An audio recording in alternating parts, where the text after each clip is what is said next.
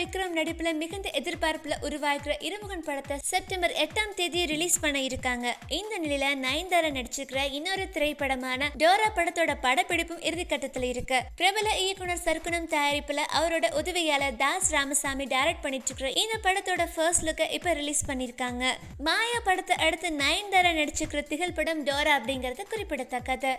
மேலும் இது மாதிரி இன்னும் நிறைய இன்ட்ரெஸ்டிங்கான தமிழ் சினிமா நியூஸை தெரிஞ்சுக்க ப்ளஸ் மீடியாவை சப்ஸ்கிரைப் பண்ணுங்க.